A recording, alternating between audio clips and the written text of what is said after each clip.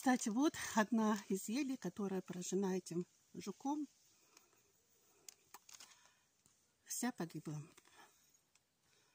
Причем недалеко совсем стоят хорошие, здоровые ели. Поэтому как он их выбирает, не знаю. А вот тоже, тоже поеденная жуком. Э, совсем рядышком.